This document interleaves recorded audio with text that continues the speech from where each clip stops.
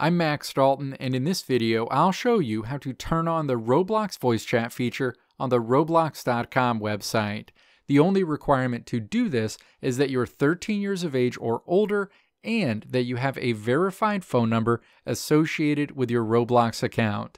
If you don't meet both of these conditions, then you won't see the voice chat option.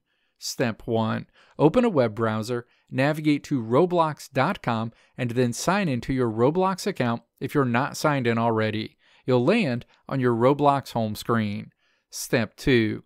Click the settings icon in the menu along the top of the screen and then click Settings in this menu. Step 3. Click Privacy and Content Maturity in the menu on the left side of the screen. Associated options are shown on the right side of the screen. Step 4. Click Communication in this menu. Roblox communication options are displayed. Step 5.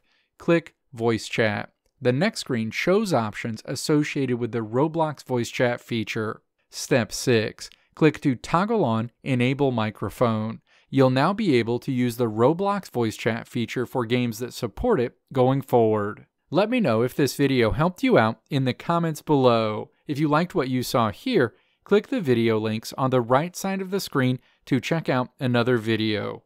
Or click the logo on the left side of the screen to check out my tutorial website at www.maxdalton.how.